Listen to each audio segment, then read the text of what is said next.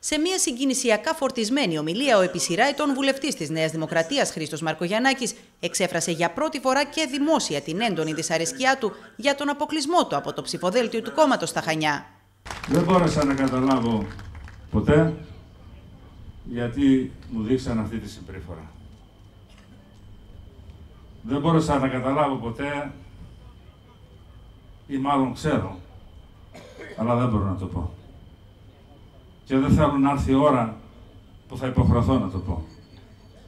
Γιατί τότε, εκτός από εκείνους που θα ζημιωθούν προσωπικά, φοβάμαι μην κάνω κακό και στη Νέα Δημοκρατία. Ο κύριος Μαρκογιαννάκης διαβεβαίωσε ότι θα είχε αποσυρθεί αν πολύ νωρίτερα η ηγεσία του κόμματος του ανακοίνωνε την αποφασή της. Δέχτηκα λοιπόν αυτή την προσβλητική, απαξιωτική συμπεριφορά. Ξέρετε, όχι πως δεν θα είμαι υποψήφιος ή δεν θέλουν να είμαι υποψήφιος.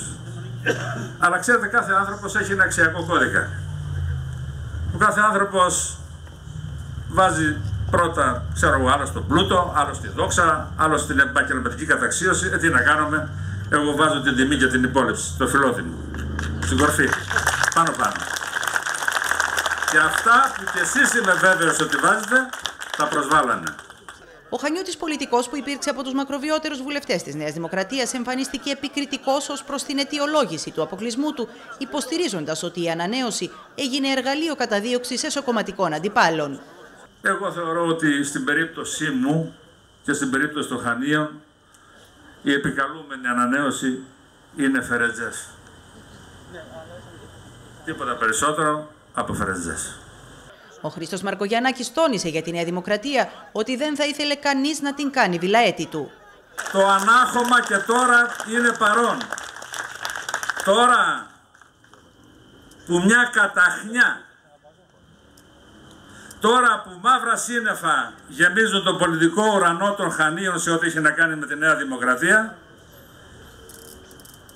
το ανάχωμα της προστασίας είναι παρόν πάλι και χαίρομαι γι' αυτό. Καταλήγοντας, ο πρώην βουλευτής Χανίων ξεκαθάρισε ότι ανήκει στη Νέα Δημοκρατία και θα συνεχίσει να μάχεται για αυτήν.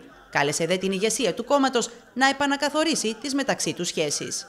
Να απευθυνθώ και μέσω εμών στην ηγεσία του κόμματος και να τους πω να πιάσουμε μια γομολάστιχα, να τα σβήσουμε όλα, να τα ξεχάσουμε όλα και όλοι μαζί να πορευτούμε για το καλό και του κόμματος και της πατρίδας μας.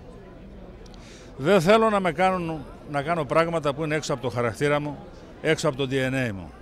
Και μέχρι τώρα συγκρατούμε όσο δεν μπορείτε να φανταστείτε.